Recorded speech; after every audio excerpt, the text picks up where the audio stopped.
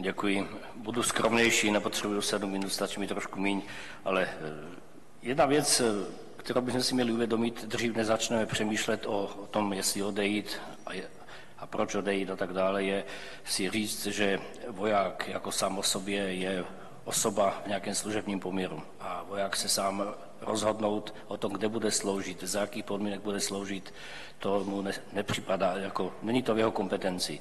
O tom rozhoduje vláda, rozhoduje o tom minister obrany, náčelník generálního štábu a tím pádem jeho občanská práva jako občana v uniformě jsou mírně omezena. Takže to je poměrně jednoduchá formální odpověď, jestli vojáci se můžou rozhodnout odejít, jen tak z Afghánistánu.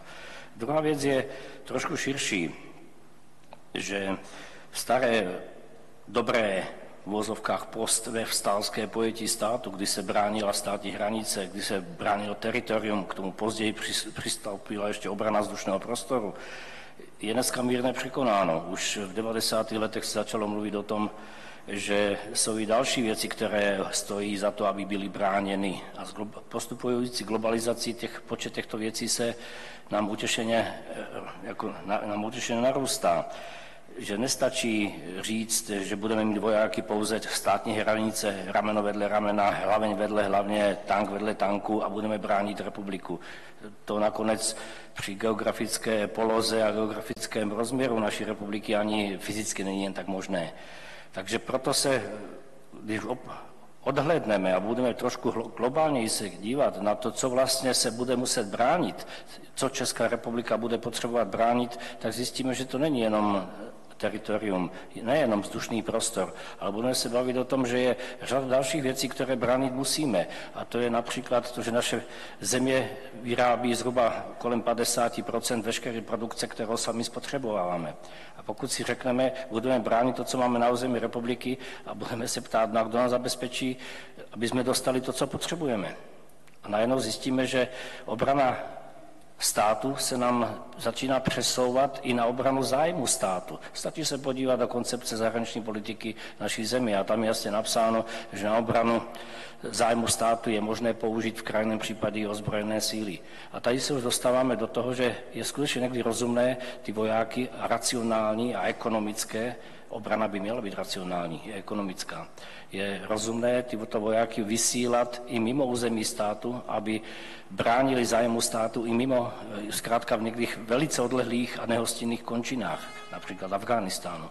Samozřejmě Afghánistán je eh, skutečně výspa civilizace, kde už Velká Británie, myslím, dvakrát narazila, Rusko jednou narazilo a Rusové se dneska těší, že i na to tam jednou narazí spolu s Američanami. Takže to by se dalo brát jako argument, co tam vlastně hledáme. Ale na, na další argument, který bych rád předložil k vaší úvaze, je to, že když už tedy jsme povinni alebo bránit ve prospěch této země i za, její zájmy, tak se dostáváme k tomu, že je taky někdy racionální radši, raději nasadit menší kontingent, menší jednotku vojáků, třeba těch 300 lidí několik tisíc kilometrů od naší země, aby konflikty, které tam nějakým způsobem doutnají, objevují se a třeba jenom se rozšiřují, je lepší tyto konflikty řešit na místě vzniku, než čekat na státní hranici a místo pár desítek tisíc vojáků nasadíme pár set tisíc vojáků.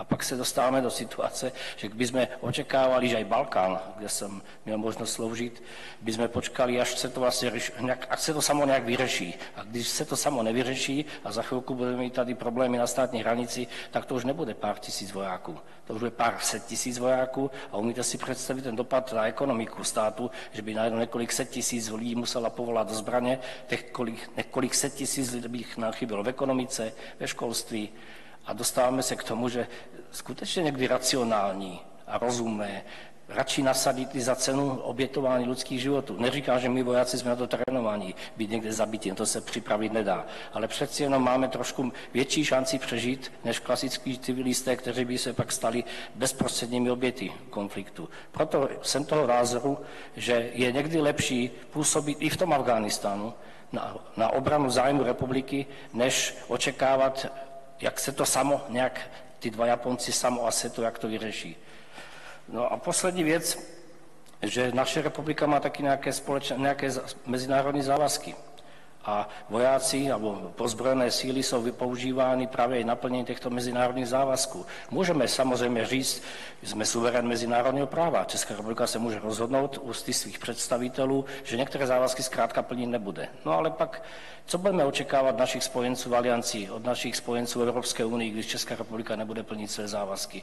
Tak jak je artikl, článek 5 nám říká, každý přispěje svým, podle svých možností na obranu České republiky, tak Belgie odslouží jednu eh, zádušní mši v katedrále Saint Michel a bude to považovat za ten, vlastně když Česká republika neplní své závazky, tak proč by jsme my nasazovali své vojáky ve prospěch České republiky.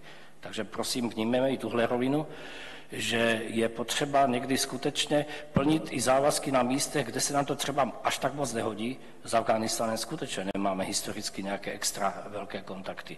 Ale jsou tam naši spojenci, my plníme spojenské závazky, tím pádem je plníme na místech, kde třeba se to České republice nemusí až tak moc hodit. Děkuji. Já děkuji a jenom než dám slovo panu Jaklovi, tak eh, mi tady přistál na stole lísteček s výsledkem hlasování, takže eh, teď v úvodu pro tezi eh, bylo 19, něco přes 19% úplně přesně stejný počet vás neví. A proti tezi, že čeští vojáci mají odejít z Afghánistánu, bylo 61,5% Tak děkuji a pane Jakle, máte slovo. Dobrý večer. Eh, vám všem děkuji za pozvání a za příležitost se této debaty zúčastnit. A jenom zopakuju svůj názor a svou tezi, která se téměř kraje eh, s názvem, tak jak byl stanoven pro dnešní debatu. Ano, naši vojáci mají odejít z Afganistánu. Nejenom to, všechna cizí vojska mají odejít z Afganistánu a nejenom to, nikdy tam žádná přijít neměla. Velmi si cením, že na této půdě takováto debata vůbec probíhá. Víte, mám totiž pocit, že o některých tématech, jako kdybychom diskutovat neměli právě s ohledem na to, co bylo řečeno v posledních větách. Jsme spojenci a e, vlastně není na nás, abychom o takových věcech rozhodovali. A já se ptám, to znamená, že velmi prudká, ostrá, politická, strategická, bezpečnostní, hospodářská debata o silové přítomnosti vojsk někde na světě, taková debata smí probíhat jenom u důležitých spojenců. A ona probíhá. Probíhá eh, na politické scéně ve Spojených státech, v Kanadě, v Británii, v Německu, ve Francii. Tam všude probíhá. Ten stav, který momentálně teď je, je výsledkem jistého rozhodnutí, jisté, jistého dědictví, jisté setrvačnosti a je dynamický. A každý ten stav bude vždy eh, reflektovat výsledek nějaké společenské a politické debaty. Ale ta debata, podle mě, je zcela oprávněná v kterékoliv zemi, které se to týká, a navíc v zemi, která tam nasazuje vlastní životy. Proto si myslím, že je absolutně legitimní a není na tom nic zrácovského, podlého a, a nemožného, abychom v klidu a při zvážení všech argumentů nevedli úplně stejnou debatu, jaká se vede na politické scéně u našich spojenců. Víte, jde dnes o velmi vážné téma. Ve společenské politické sféře často dochází k velmi důležitým rozhodnutím, které ovlivňují životy e, milionů lidí na spousty let dopředu. Jak budou žít, jak se budou mít. Ale rozhodnutí, jestli nasadit v cizí zemi svá vojska, své syny, své dcery, To je rozhodnutí, kde podle mě musí být vymícena veškerá, veškerá pochybnost, že je to správné řešení. A pak, když není vymícena, nesmíme si troufat něco takového udělat. Nevystačíme si s frázemi o chránění demokracie, Nevysta, nevystačíme si s frázemi o šíření civilizace, e, nevystačíme si e, s řečmi o bránění, vykořišťování nebo o řešení jádra ohnis, ohniska bezpečnostních problémů. Takovými to frázemi ne, není možné odůvodnit tak vážné rozhodnutí, jako poslat desítky a stovky lidí do nebezpečí života a nejenom to, jak je poslat v okupační roli do úplně cizí země, střílet lidi, kteří se tam narodili a kteří tam žijí. K tomu je třeba velmi vážných argumentů a ne frází, které slyšíme v první, druhé i třetí větě jakékoliv debaty na toto téma. Věty, které byly přečteny u mého medailonku, pocházejí z blogu, který jsem našel včera, když jsem přemýšlel, co tady budu povídat. A ten blog na Ines i různě jinde vyšel eh, přesně před rokem, bych řekl, a lépe bych to neřekl eh, dnes a stručněji. Eh, největším problémem toho, zda být přítomni nebo nebýt přítomni v Afganistánu, je, že od roku 2001, kdy začala operace Trvalá svoboda, nikdy do dnešního dne nebylo explicitně stanoveno, eh, stanoven žádný politický nebo vojenský cíl, jak to má vlastně skončit. Myslíte si, že by před těmi skoro 20 lety prošlo u veřejnosti, u politické scény, kdyby někdo řekl, budeme v té daleké zemi 20, 30 let a za tu dobu území kontrolované naším nepřítelem deklarovaným, což je hnutí Taliban, se zvětšilo. Taliban dnes po 18 letech bojů kontroluje větší území, než když tyto boje v roce 2001 začaly. Co je jejich cílem? My víme, jak původně hnutí eh, studentů teologických fakult eh, Taliban, jak vzniklo, jak začalo, jak bojovalo a jak získalo nadvládu nad zemí.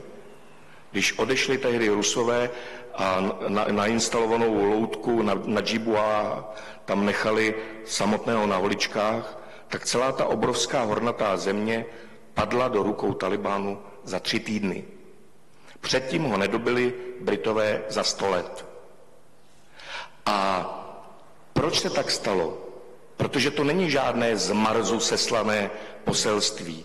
To hnutí, to uspořádání, které tam je, vychází z přání, zájmu a potřeb lidí, kteří tam žijí. Je velmi autentické a může být jin, jiné, než se nám líbí, ale vyrůstá z domácích poměrů a proto je nepřebožitelné.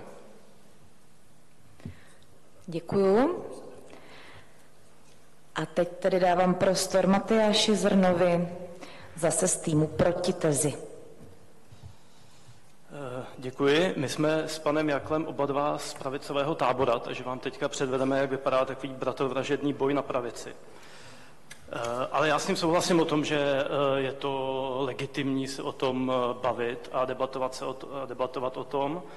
Dokonce uznávám, že když se podíváme zpět a vidíme, že ta intervence trvá teď už 18 let a stála síly na to několik tisíc životů a samozřejmě násobně víc to stálo naše afgánské spojence a e, ještě více afgánské civilní obyvatelstvo. A když se podíváme, kolik to stojí peněz, tak je celkem přirozené, že si klademe otázky, jestli to za to stálo a jestli tam máme pokračovat. Ale Přece bych připomněl, že to rozhodnutí se do té mise zapojit je rozhodnutí vlády České republiky, demokraticky zvolené a demokraticky zvoleného parlamentu České republiky. Ta debata o tom probíhala, hlasovalo se o tom, jako není to nám nikým nadekretováno z NATO, nemuseli jsme se toho zúčastnit. Ale zúčastnili jsme se, nutno říct, řekl bych, o něco větším entuziasmem než celá, celá řada jiných evropských států, což je podle mě způsobeno dvěma faktory. Jednak my jsme opravdu pořád ještě na evropské poměry dost proamerickým a jako euroatlanticky orientovaným státem. To se nedá srovnat třeba s Německem, s jeho pacifismem a antiamerikanismem, který teďka se zvolením Donalda Trumpa už jako se úplně Eh, úplně eh, dostal veškerých rozumných eh, mezí. A jednak proto, že my jako země, která do teďka trpí Mnichovským komplexem, máme přirozenou a jako poměrně malá země, jako ne úplně navždy jistém geopolitickém postavení, přirozenou potřebu mít své zodpovědné spojence, kteří nás na holičkách nenechají, v představě, řekněme nás, euroatlantistů, je to NATO a jsou to především Spojené státy a proto je vhodné eh, podpořit eh, Spojené státy eh, v naději a představě, že také oni podpoří nás. To samozřejmě nikdy není stoprocentní, nikdy nevíme. Ta debata o tom, jestli Eh, bude, budou Spojené státy obětovat hospodyni v Kansasu za hospodyni v západním Berlíně se vedla celou studenou válku, jestli budou obětovat hospodyni eh, v Texasu za hospodyni v Talinu se vede teďka a nikdy nevíme, jestli by někdo obětoval jakoukoliv hospodyni za, za hospodyni v Praze. Ale je to pořád ještě, řekl bych, nejstabilnější a nejistější bezpečnostní aliance, ve které jsme žádnou lepší nemáme a pokud, jsme, pokud uvažujeme dál politicky, tak bychom měli eh, v té alianci být a dát jí to, co eh, my žádáme od ní.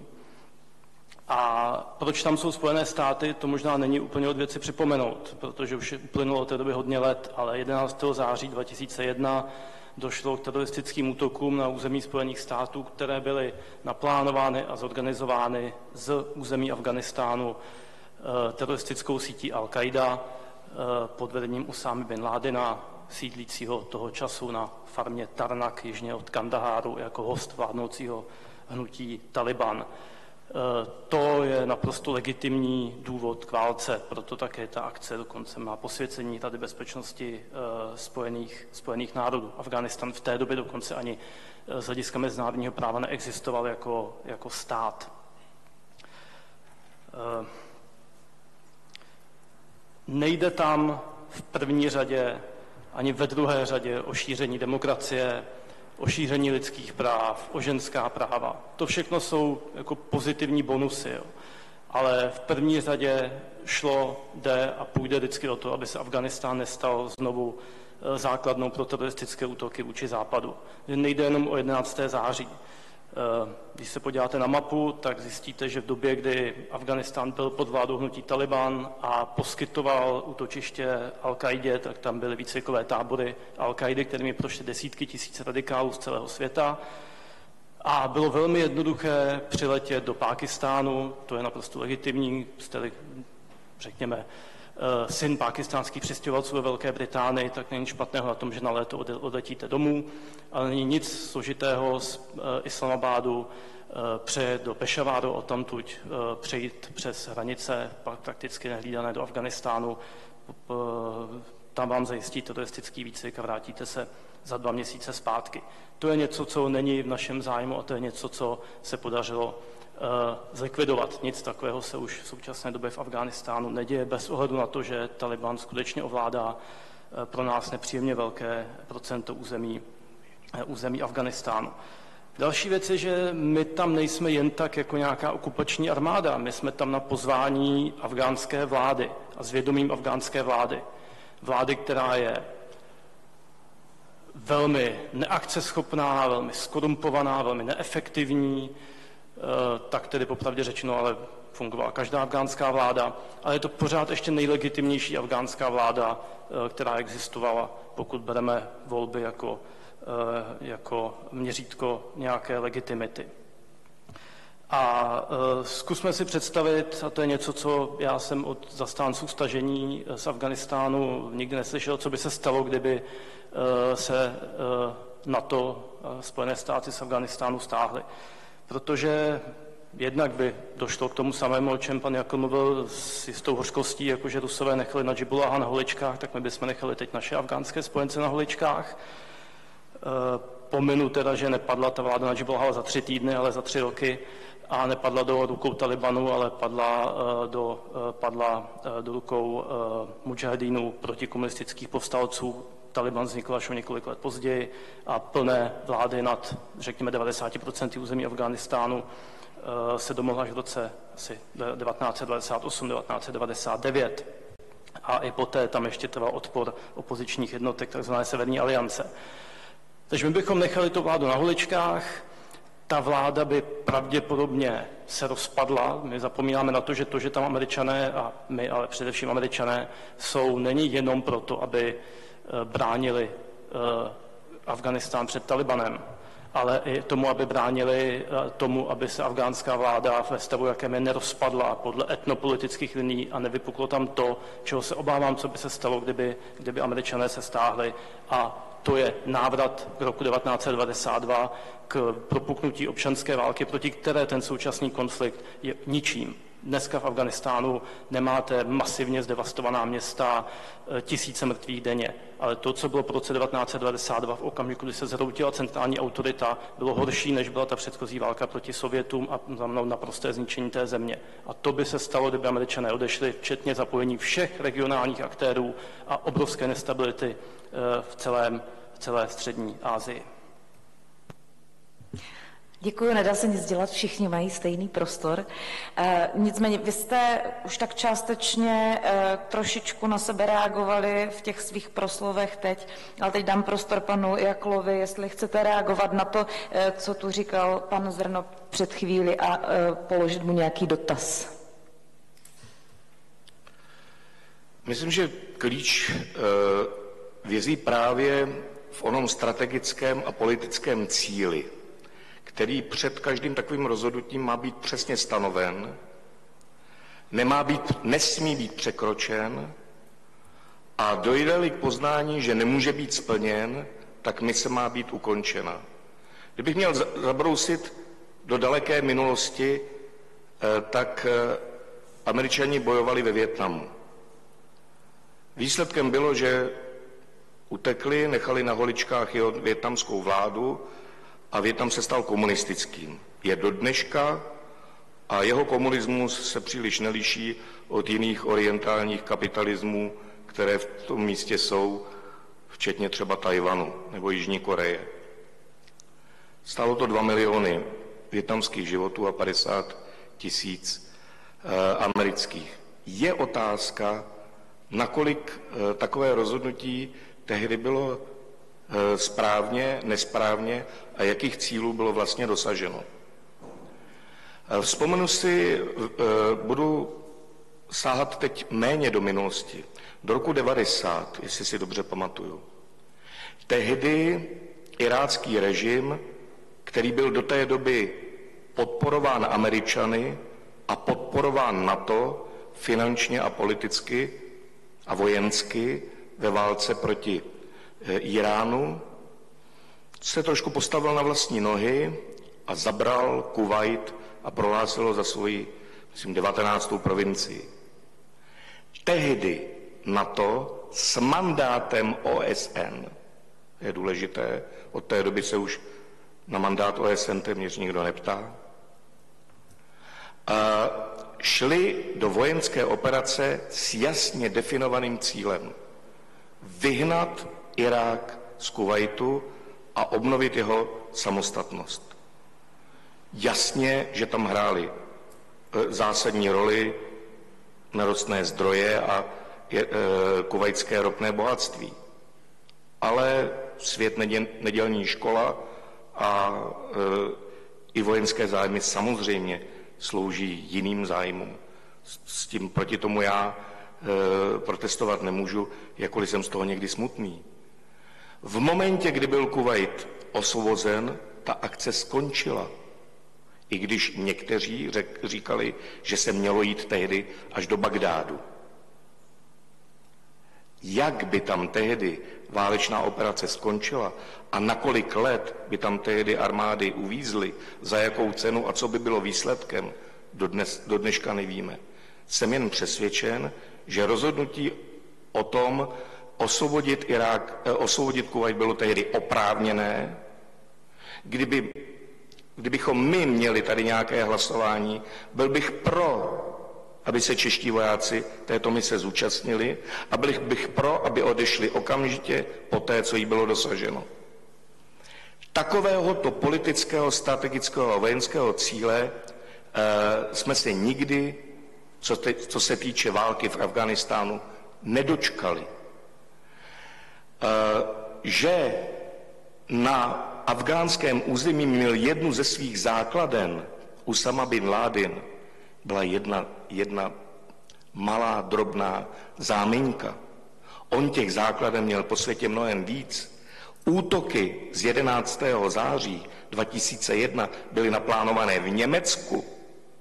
V Německu žili téměř všichni budoucí teroristi, udělali si tam kurz letectví a odtamtud odletěli do Ameriky. To by se stejnou logikou e, měli američani bombardovat Hamburg nebo Berlín. Tak necháme z 20, pardon, pardon z 20, z 20, ještě pořád ke stejnou argumentu, eh, z 20 těch teroristů, kteří spáchali ten útok, jich bylo 16 nebo 17 saudských Arabů, bombardoval někdo Saudskou Arábii?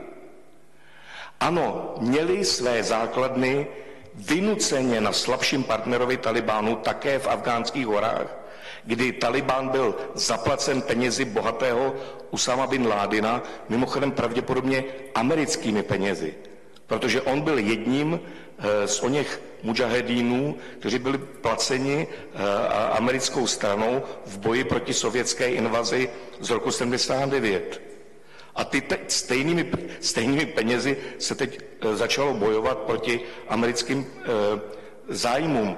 Tak se stalo už několikrát. Jde o to, aby rozhodnutí, které konáme, byla správná, byla efektivní, měla konkrétní cíl a nezahalovala se omáčkou nějakých frází. Abychom si řekli, co chceme, Ještě dostanete proč to prostor, děláme, pane Jakle, já vás musím přerušit, už je to monolog trošku, musíme nechat reagovat tady proti stranu. Tak pánové, byla to jenom záminka a další věci zazněly, poprosím o reakci. Děkuji. Děkuji za slovo. Pár takových myšlenek, které jako reakce. Poprvé, v Afghánistánu nejde o to boj dobra se zlem. Tam jde o to boj mezi větším a menším zlem. Takže jde o to, že jestli podporovat Talibán, který je poměrně radikální islámské učení, anebo podporovat vládu, která, jak bylo správně řečeno, je skorumpovaná, je skutečně možno pár mil kolem Kábulu, ještě by sama dokázala ovládat, někdy ani ne celý samotný Kábul.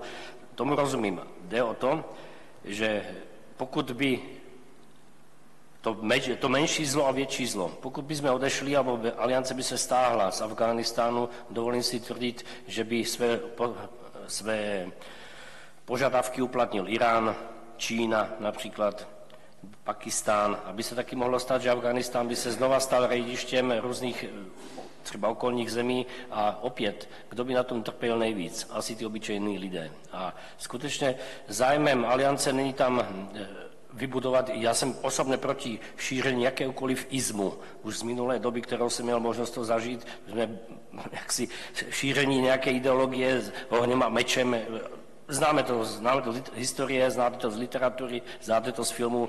Nedomnívám se, že to je nejlepší cesta. Včetně arabského jara, ano opět šíření demokracie v podmínkách, kde tohle semínko, tyhle vzácné rostlinky zkrátka nemůže vzklíčit a nemůže vzkvětat. Poslední věc, ti poli- ohledně politického konečného nebo požadovaného stavu. Četl jsem operační rozkazy, podílel jsem se částečně na jejich tvorbě, protože v té době jsem dělal operační plánování, takže political end state, jak se říká v angličtině, byl stanoven pro ISAF. Rovněž i vojenský end state, military end state byl stanoven. Je pravda, že prezident Obama v roce 2014 chtěl prezentovat nějaké konkrétní velké výsledky, tak se to hodně urychlilo. Zkrátka se předběhla určitá doba, protože opět tyto věci, přesně jako je na Balkáně, nelze řešit během jedné generace. Dovolím si tvrdit dvě, tři, možná i čtyři generace, aby jsme dosáhli v Afghánistánu takový stav, které, že už to nebude padlá země, už to nebude failed state.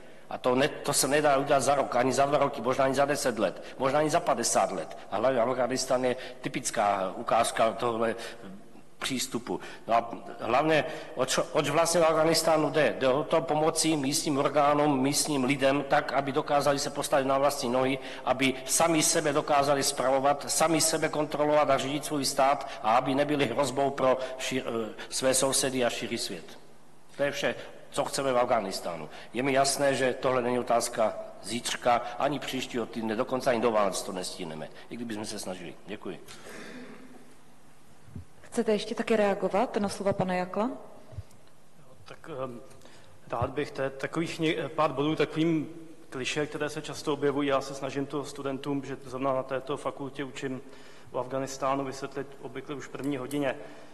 E, třeba s těmi americkými penězi, to je taková oblíbená historka. Jo. Tak zase není to tak, že by američané platili Bin Laden a Bin Laden měl vlastní, zcela nezávislou organizaci a především americká finanční pomoc která plynula afgánským mujahedinům, byla, šla přes Pákistán. To bylo jasnou podmínkou pakistánské vlády pro spolupráci s Američany, že eh, peníze, zbraně a materiál budou přes pakistánskou tajnou službu, která to následně rozděluje eh, podle svého určení. Bohužel, to byla jistá chyba ze strany Američanů, že nedohlídli na to, komu to šlo. Šlo to často spíš těm radikálnějším, ale šlo to afgánským odbojovým organizacím, nikoli v těm, které tam eh, přišly až v druhé polovině 80. let z, eh, z arabských států, které, eh, které přinesly vlastní zdroje, vlastní financování. Ehm, já nevím, představovat si, že se má bombardovat Německo kvůli tomu, že tam někdo ilegálně plánuje teroristický útok, já nevím, snad je jasný ten rozdíl mezi tím, když jste někde hostem, nikoli vynuceným hostem, jo, ale jste hostem s velmi dobrými osobními vztahy, vymění se si dokonce manželky, že, respektive Bin Ladenova dcera se stala eh, manželkou Mula Omara, nebo naopak, teď si to pletu, eh, vůdce Talibanu. Jste ve velmi dobrých osobních a přátelských stazích. Dal se průběhu let vypozorovat, jak Bin Laden svými názory ovlivňuje do té doby, řekněme, odlišně orientovaného Mulu Omara, který neměl globální džihadistické tendence. Eh, takže nebyla to vynucená nějaká vynucená zastávka Bin Ládina v Afganistánu. Takže je rozdíl mezi tím, jestli někdo dělá něco ilegálně v nějaké zemi proti zákonům této země, anebo jestli je naopak hostem této země a je to vrchní velení. To je potom něco úplně jiného. A že ty útoky z 11. září sloužily jako záminka, jako záminka k čemu? Jako proč by pro boha někdo chtěl zautočit na Afganistán? Tam není vůbec nic, to je past, to je, to je peklo, ta země je jako příšerná, tam opravdu nechcete být jo, a není tam nic, co by stálo za to, abyste tam byli. Jo, to není Kuwait. Jo. Takže eh, záminku nerozumím, nevím, pokud samozřejmě nezabředneme jako hodně hluboko do konspiračních teorií, že si to objednal americký zbrojní průmysl, aby na té válce lépe vydělal.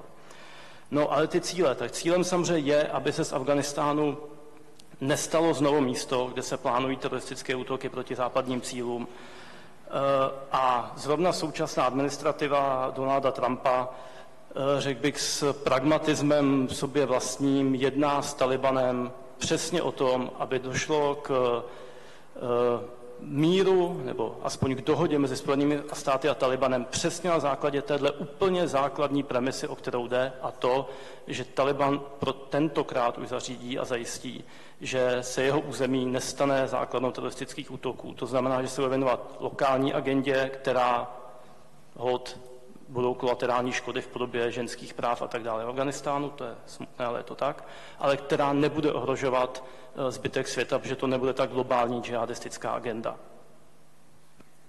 Pane Jakle, poprosím vás, zejména mm, pan Zrnov v podstatě položil tu otázku, proč by tam někdo chtěl být, tam nikdo nechce být, to je otřesná země. Ale myslím, že mý dva oponenti se špatně dohodli, protože eh, jeden z nich povídá, že to je důležité strategické území, které nelze opustit, protože by se stalo rejdištěm Číny, eh, Pakistánu a nevím koho ještě.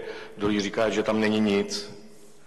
Je to území, které bylo strategicky důležité posledních asi tři tisíce let je to území na spojnici eh, Číny a, a tehdy Říma později Evropy, je to, eh, je to území na hedvábné stezce. A proč se tam Britové snažili 100 let získat Afghánistán pod, pod svoji moc marně? Proč to vlastně dělali, když tam jsou jenom šutry? Proč se tam snažili nejenom Sovětský svaz v roce, v roce 79, ale ruské impérium už v polovině 19. století, pro ně to byla e, ta, ta kýžená cesta k teplým mořím. Je to místo, kde se střetávají nejdůležitější globální zájmy světa. Samozřejmě není pravda, že tam není nic. A záminka byla dobrá. Záminka byla dobrá. Takže e, myslet si, že nebyla třeba nějaká, e, která by dobře zafungovala a kterou by veřejnost ustála, samozřejmě byla vhodná a byla dobrá. Takže to ne, není pravda, že záminka neměla žádný, žádný, žádný smysl. A, a v jedné věci já si myslím, že se nakonec stejně shodneme, jak tady sedíme. Ten blok, z kterého vám četla paní moderátorka na začátku toho mého medailonu, co jsem napsal před rokem, tak ten končil s tím, titulek je, že máme odejít a musíme odejít. Ten končil s tím, že jediná cesta eh, k řešení je začít jednat s Talibanem. A reakcí na to, co jsem tohle napsal, bylo ode všech stran, že jsem se asi zbáznil. Jednat s teroristy, jednat s největšími zločinci. Já jsem je nikdy nepovažoval za nějaký mazánky. Já jenom vím, že fakticky jejich podpora vyrůstá eh, z, z přesvědčivých kořenů eh, v té zemi, v té zemi, která je etnicky rozbitá, tam žádná národnost nemá víc než 50%, dokonce i jednotlivé odstíny e, islámu tam jsou vzájemně nesnášenlivé. A jediný, kdo tu zemi byl schopen jakž tak dát dohromady jako celek, byl skutečně ten Taliban. A tudíž jediný on a pod, pouze po dohodě s ním je možné nějaké budoucí řešení. Nikoli proti němu. To je iluzorní, že si vymyslíme, že jsou tam nějací hodní nebo méně zlí a že s těmi budeme jednat a těm to pak předáme. A když se vyskotačili mý odpůrci tehdy před tím rokem, asi týden, jaký, jak, jaký jsem, jak jsem se zbáznil, že, že chci, aby se jednalo s těma, s těma největšíma šílencema, tak bylo oznámeno, že Spojené státy začaly s Talibanem oficiálně jednat.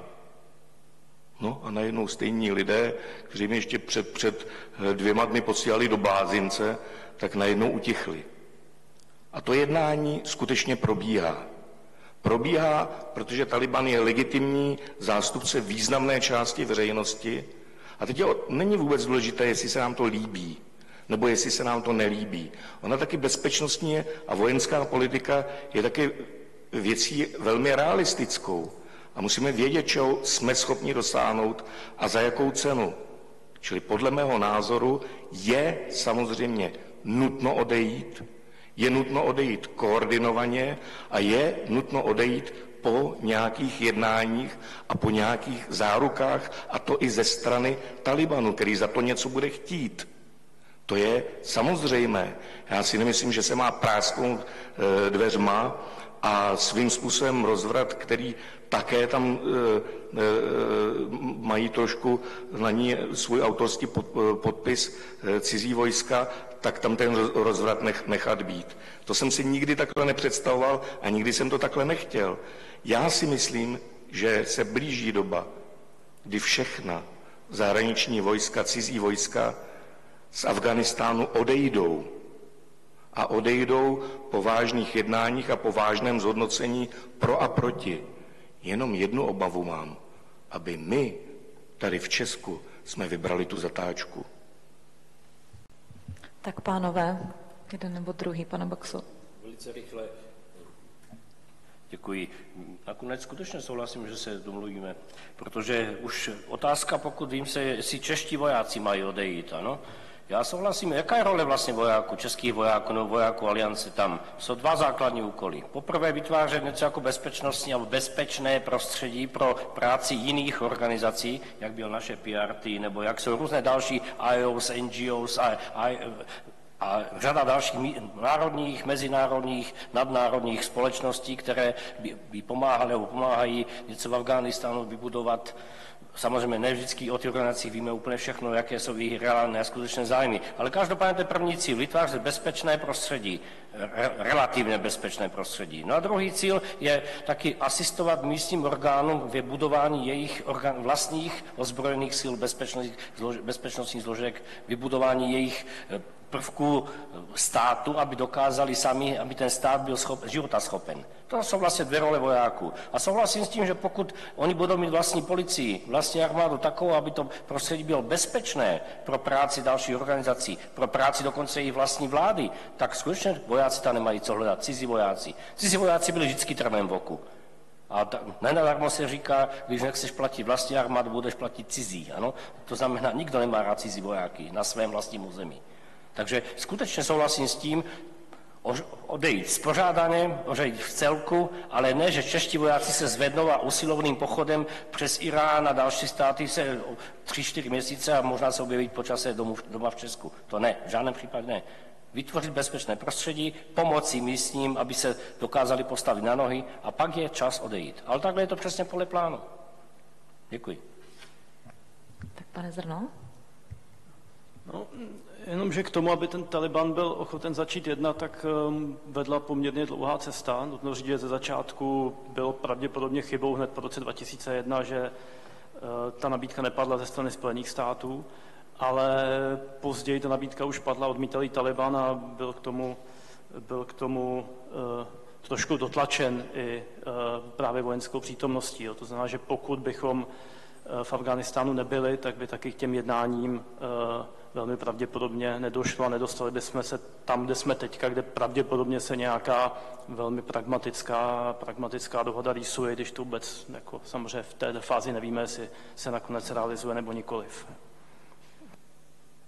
Děkuju. Vypadá to, že se možná eh, shodujete. Ano, pane Jakle.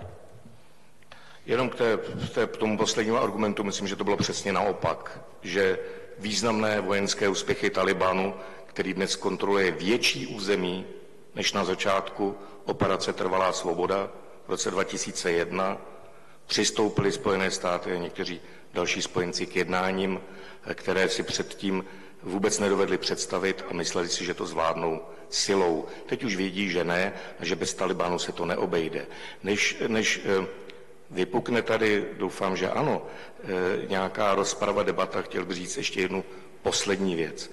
Naprosto souhlasím s tím, že debata o naší přítomnosti či nepřítomnosti, a nejenom naší, jakékoliv e, spojenecké země, e, v Afganistánu či kdekoliv v cizí zemi, je věcí společenskou a politickou. To není věcí armády, to není věcí vojáků. Já si našich vojáků, kteří tam nasazují své životy, velmi cením. A nemám rád, když se označují za žoldáky, kteří za velké peníze e, si jedou někam zastřílet. Oni prostě plní své povinnosti tak, jak se rozhodli. Já si jsem jenom přesvědčen, že politické rozhodnutí je tam poslat a tak dlouho tak držet je chybné a neodpovídá našim zájmům. Bych se možná ještě zeptala, pan Jakol tvrdí, že eh, Taliban ovládá větší území, než eh, tomu bylo předtím. Eh, máte informace o tom, jestli to tak je, nebo protože i vy jste říkal, že to území je poměrně velké, které ovládá Taliban. Je to tak, ale musíme, musíme rozlišit dvě věci velikost území a počet obyvatel. To znamená, že v Afganistánu můžete ovládat velké území, ale neznamená to, že ovládáte většinu obyvatel. A v současnosti je to tak, že Taliban ovládá velkou část, pravděpodobně okolo poloviny eh, venkovské, převážně venkovských oblastí Afganistánu, zatímco vláda ovládá ta hlavní populační centra. Ale zase, my si to představujeme, nebo možná si to někdo představuje jako nějaké linie, kde na jedné straně je Taliban, na druhé straně je vláda. Ono tak jako není. Máte území, které ovládá Taliban, ale třeba tam normálně funguje škola, do kterou afgánská vláda platí a normálně tam fungují prostě tyhle ty služby. Jezdí autobusy mezi prostě Kábulem a Kandahárem a projíždí přes oblasti kontrolované Talibanem. Jo. Takže to není e, tak, že by si lidi nedostali z jedné oblasti do druhé. E, normálně jedou z Talibanem ovládané části do Kábulu, vyřídit si, co potřebují a zase na zpátek a tak dále. Jo. Což mi dává určitou jako naději, že a vzhledem tomu, že jak říkal jeden starý důstojník CIA, každý Afgánec je v duši prodavač koberců, takže je tam potenciál nějaké dohody, protože často v minulosti ti největší protivníci v Afganistánu byli ochotni měnit strany, spojit se, zase se rozpojit a tak dále. Takže to mi dává nějakou naději na kompromis mezi afgánskou vládou a mezi Talibanem, který by mohl být trošku podobný, jako byly ty tři roky nebo poslední čtyři až pět let na Džibuláhově vlády, kdy vláda ovládala města a komunikace mezi nimi eh, a víceméně rezignovala na kontrolu velkých eh, venkovských oblastí eh, výměnou za to, že ti povstalci, kteří tam byli, tak neutočili na města a relativně to fungovalo. Takže by se Afganistán vrátil k takovému, řekl bych, trošku feudálnímu stavu, kdy hod eh, někdo jako na jednom území vládne více právních systémů a, a více vlád, ale jsou schopni eh, spolu relativně vycházet eh, v míru, jo, což si myslím, že asi tak maximum toho, v co můžeme doufat. Tam je potřeba si taky uvědomit, že Taliban a jeho vláda, mnohdy je to taky, že jsou to běžní lidi, kteří se věnují běžnému řemeslu, pastavectví, nějakým řemeslům a přes den a v noci vytáhne svého schovaného kalašníkova, kterého má někde mimo bokem a v noci řádí jako Taliban. A přes den je to opět spořádaný obyvatel. Ano? Takže říct, tohle je Talibánec forever a nikdy to nebylo jinak a tohle je naopak spořádaný občan, taková linie tam neexistuje. Přesně jak bylo řečeno, neexistuje tam linie modrý a červený, přítel, nepřítel, dobrý, špatný. Zkrátka, tam tyhle linie nejsou. A ještě taková jedna zajímavost, že oni jsou, mají své landlordy a warlordy, to znamená, oni jsou lojální nebo poslušní vůči svým eh, téměř feudálním pánům, které víceméně kontrolují a řídí. On, Afganec je schopen vás slíbit cokoliv, jinak by vás uspokojil, vás potěšil. Ale on nechápe, že mnohdy, ne, ne všechny, nemůžeme to úplně generalizovat, ale nějakou závaznost mnohých smluv a podobně. Zkrátka oni mají trošku jiný svět, trošku jiný pohled na realitu, kterou my tady vnímáme. Je to trošku jinak. To jsou trošku jiní lidi, trošku jinak zaměření, věří trošku jiným věcem a e, dělat, používat naše meřítka, která máme tady běžné, není možné v Afganistánu. Děkuji. Já děkuji. Eh, prosím, připravte si své dotazy. Za chviličku dostanete prostor, eh, než rozmyslíte a než se k vám eh, dostane ten mikrofon, tak já si dovolím vykopávací otázku, jak na jeden, tak druhý tým. Nejdřív bych se zeptala pana Jakla, ehm, Ono to tady zaznělo v úvodu z úst pana Baxy, že Česká republika má nějaké závazky vůči NATO. Eh, jak byste to řešil, nebo jak byste si představoval to, kdybychom odešli, kdybychom se třeba neúčastnili eh, podobných zahraničních misí v souvislosti s těmi závazky, které má Česká republika? Trošku to souvisí s tím, jak jsem říkal, hlavně, aby jsme vybrali tu zatáčku. Aby jsme nebyli horlivější než ti, eh, kteří tu kolonu vedou. A nehrnuli se pořád tím předchozím špatným směrem. Eh, v Afganistánu eh, nepůsobí zdaleka všichni členové NATO. Působí tam jedna čtvrtina. Ty ostatní nejsou žádní zrádci nebo, nebo ti, kteří snad nedodržují nějaké spojenecké smlouvy. Je to rozhodnutí každé té země. My můžeme udělat jiné rozhodnutí. To za prvé. Za druhé, v každém takovém společenství máme nějakou reprezentaci která má hájit naše pohledy, naše specifické zájmy, naši specifickou roli a ne jenom říkat, prosím vás, eh, kdy už s váma můžeme souhlasit? Nebo eh, co vám můžeme dát, aby jsme s váma mohli první souhlasit? Takhle se totiž žádné, eh, žádné protislužby, abych to tak řekl takhle cynicky, nikdy nedočkáme naopak eh, země, eh, jejich souhlas stojí nějaké úsilí, tak o to úsilí, tak, tak o ten souhlas někdo opravdu usiluje. A, a zatímco země, které dopředu říkají, odkejmeme vždycky, vždycky všechno, tak nedostanou nikdy nic. Prostě chovejme se jako suverénní, sebevědomá a také zodpovědná země, která si je vědoma svých závazků, ale na těch závazcích se také podílí. A jinak s těmi závazky si myslím, že v minulých desetiletích jsme neměli úplně ty nejlepší e, zkušenosti a bylo by dobré, aby jsme častěji přemýšleli vlastní hlavou. Děkuji, ještě se zeptám eh, tady týmu, jednak eh, tady trošku poprosím o reakci, jestli eh, si to stojí takto jednoduše s těmi závazky a, a můžeme si dovolit tedy takto suverénně, jak to popisuje pan Jakl, postupovat. A druhá věc, protože vy jste tam byl, tak by mě zajímalo váš osobní názor s tím, jak to tam vypadá, jak to tam už trvá dlouho, jestli si opravdu myslíte, že je nějaký výhled blízký, že by to dospělo tam k nějakému řešení, kdybychom opravdu mohli odejít. Já si dobrý, já si vezmu na starosti ty závazky. Samozřejmě každá země i členské země, v České, včetně České republiky, jsou suverénní mezinárodního práva a mají právo se rozhodnout i v rámci, ale opět dochází k nějakému hlasování v rámci Severoatlantické rady, kde i Česká republika má jeden hlas jako každý jiný stát a může říct ano, je to proti zájmu České republiky, aby, Česká, aby aliance vůbec se angažovala v nějakém Afghánistánu.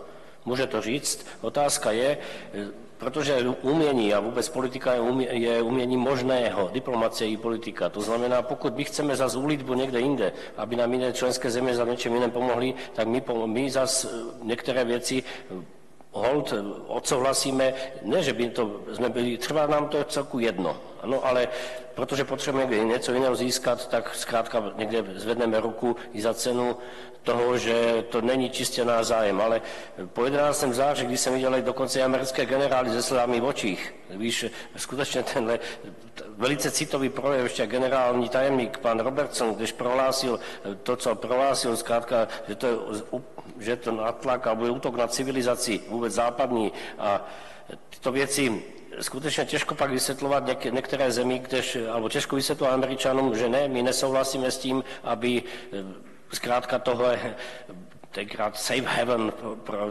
jako azyl pro teroristy a podobně, že nebude dotčen, že nebude vůbec nějakým způsobem tam se angažovat to je dost těžká politická role. Já jsem rád, že jsem nebyl velvyslanec, který musel to, tohle zvážit a tu ruku zvednout nebo naopak říct, my s tím nesouhlasíme. Je to hodně cílné, hodně citové a nejen tak jednoduché. Ale je pravdou, že Česká republika má právo a rovněž některé členské země, například v Iráku, myslím Belgie a Francie, nesouhlasili s tím, aby aliance, ale zvedli ruku na to, že to operace aliance, ale bez její účasti. To je taky možné, ano. Takže i Česká republika mohla to říct, ano, my jsme pro operaci NATO v Afghánistánu, ale nechceme se ji sami jako Česká republika zúčastnit. Na druhé straně zase je potřeba si eh, říct taky eh, i druhou věc z hlediska takovou čistě praktickou vojenskou. A já jako voják, který prošel operačním nasazením, můžu říct, že učit se řídit auto a přitom vás nikdo do toho auta vlastně nepustí za volant, neboli převedeno do vojenštiny. Učíte se, jak bojovat, učíte se, jak žít v poli, učíte se takovéhle věci, cvičíte to celé roky a najednou nemáte vůbec žádnou možnost si to vyzkoušet. Já beru tyto zahraniční misi, a tady nemyslím jenom Afghánistán, jako určitý vrchol vojenské přípravy. To není ostrá válka ve smyslu high intensity konflikt, který by byl třeba v Evropě mezi velmocemi a podobně. To je boj nízké intenzity, válka nízké intenzity a skutečně se to dá využít i jako velice dobrý výcvik a psychologická příprava i pro ty vojáky. Takže my to nebereme, tyhle mise, jenom čistě e, nutné zlo, my to se snažíme i z toho nutného zla e, něco brát pro nás, to znamená skutečně zlepšit přípravu vojáků, ověřit ty naše techniky, taktiky, ověřit naše zbraně a ty vojáci by získali trošku sebedůvěru, že jsou schopni přežít i v takovýchto podmínkách. Děkuji. Tak děkuji, ještě vás teda poprosím o ten osobní pohled možná, fakt. No tak eh, Afganistán, na to se můžete dívat jako na sklenici, že je poloplná nebo poloprázdná, protože poloprázdná je, když budete hodnotit eh, budování státu, abych parafrázoval Peroutku, které tam probíhá už skoro 20 let a e, s výsledky, které často jako mimo velká města jsou docela tristní. Jo. To nedovedete představit to, že jako vlastně tam neexistuje žádná státní struktura nebo samozpráva, jako nic. Lidi jsou přenecháni často sami, e, sami sobě. A to je takový sen anarchokapitalistů, bych řekl. Ale Zároveň může být i trošku poloplná z hlediska toho, že se podařilo jako dramaticky třeba rozšířit zdravotní péči, vzdělání a podobně na území Afganistánu. To se nedá vůbec srovnat s tím, co tam bylo za vlády Talibanu, který se ukázal být jako fatálně neschopný dodávat jako základní služby e, obyvatelstvu. A samotný Taliban je menšinou, výraznou menšinou v Afganistánu ale stejně tak menšinou jsou jeho protivníci a jak to tak bývá, tak velká většina lidí jsou ti ve středu, kteří se snaží prostě nějak přežít. Eh, v angličtině se jim říká fence sitters, ty, co sedí na, eh, na eh, plotě a tak jako se kývají z jedné strany na druhou a čekají, na kterou stranu se mají, se, se mají naklonit. A je to celkem pochopitelné, protože mají své zkušenosti, už těch válek a těch armád tam prošlo hodně. Ale taky za těch 20 let je zajímavé, že došlo k, jako k velkým socioekonomickým změnám. Obrovském nárůstu obyvatel měst. A Kábul se zpětinásobil.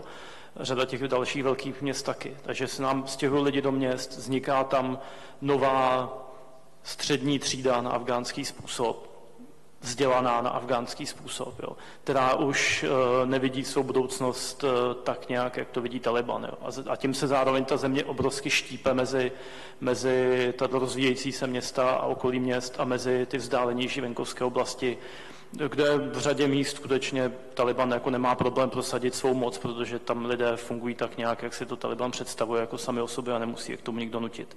Takže je to e, jako země, která bych řekl potenciálně, je to jedna z mnoha dělících liní, která, e, kterou jí čeká, je tenhle střed mezi modernitou a tradicí, mezi, mezi městem a venkovem, když to, když to e, hodně zjednoduším. Tak. Tak to jste mě moc neodpověděl, ale třeba se na to ještě někdo zeptá. No já jsem se ptala na to, jak to jako vidíte jako časově, jako když je to tam takhle prostě, ale fakt stručně, já už chci dát prostor tady kolegům pro dotazy. No, časově ten uh ten konflikt může skutečně trvat v nějaké nízké intenzitě, klidně třeba ještě několik generací, zvláště proto, že už tam není jenom Taliban, ale je tam ještě navíc islámský stát, který zase je na kodli s Talibanem. Takže Afganistán bude takovou tou zemí, kde nějaká míra nepokojů, nějaká míra jako drobného, drobného postaleckého hnutí eh, bude pořád, ale to je konec konců asi na dvoustech místech i v Indii a přesto je to fungující stát, takže je to prostě něco, s čím se musíme vyrovnat a nebrat to tak tragicky, jako bychom to brali třeba v Evropě. Tak děkuju. Nevím, u koho je teď mikrofon. Poprosím o vaše dotazy. Kdo bude chtít, vždycky se představte nějak stručně, jenom jméno, příjmení a koho se chcete zeptat.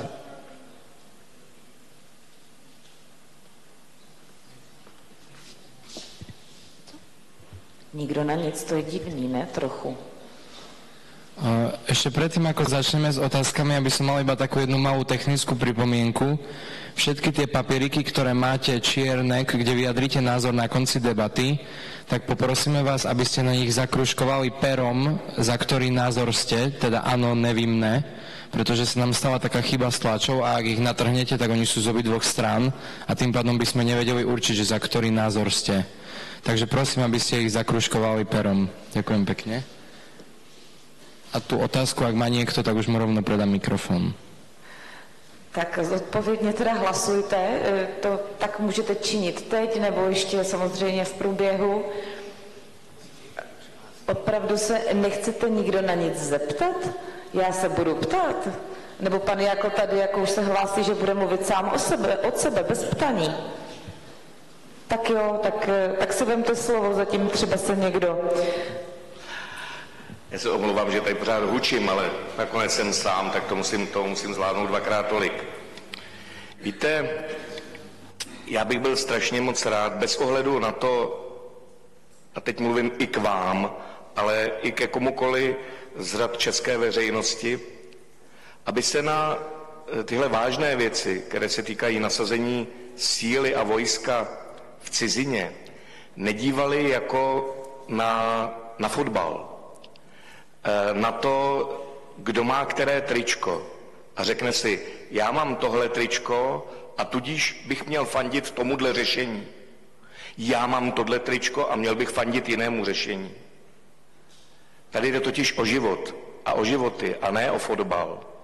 A proto každý z těch problémů, u kterých existuje riziko nasazení síly, nemůžeme přemýšlet jenom tak, no, říkají to tyhle ty, který máme rádi, který mají to správný tričko, budeme říkat něco podobného, aby jsme stáli na té správné straně. Eh, bylo deset dnů do zahájení bombardování Libie. Já jsem tehdy vystoupil v televizi a řekl jsem, že použití síly eh, armád NATO proti Libii smrdí velkým průšvihem. To cituju doslova. Eh, rok před tím bombardováním se v Libii uskutečnil summit Afrika Evropská unie. 60 světových, světových vůdců se tam sešlo, Sarkozy se s Kadáfím tam líbal, objímal. Proč? Protože to byla téměř jediná stabilní země široko daleko. Země vedená absolutně a úplně jinak, než jak bychom si představovali podle, podle našich norem. Ale v každém případě to byla země stabilní, nejbohatší v Africe, Eh, nepouštěla k moci islámské extremisty a fungovala velmi spolehlivě jako hráz proti migraci ze subsárské Afriky. Toto, bylo vše, toto byla všechno známá rizika proti rozkolísání toho režimu. Bombardování začalo a jaký je výsledek? Padlý stát, který neexistuje, muslimský extremismus, migrační vlna, bída a chudoba. Eh, podobné, podobné řešení bylo i u Iráku a u Sýrie. Sýrie vládce, který rozhodně ne, nepatří mezi lidi, které my bychom chtěli nějak obdivovat. Ale byl to nejsekulárnější stát v arabském světě, kde žilo 2,5 milionu křesťanů bez jakéhokoliv pronásledování, kde ženská měla, žena měla mnohem větší práva než v Saudské Arábii kde byly i další jiné, jiní minorité a ten režim byl spíš socialistický, nebo rádoby socialistický, eh, než islámský. A co, co udělal e, Západ ve, ve svém nadšení svrhnout tento režim? Začal podporovat síly, kterým my jsme tady několik let říkali umírněná opozice. Taková blbost. Umírněná opozice se samopalem nebo kulmetem v ruce anebo, ne, ne, nebo demokratické síly. A najednou z toho vyrostl islámský stát. Byl to správný zásah? Nebyl to správný zásah. V Iráku něco velmi podobného.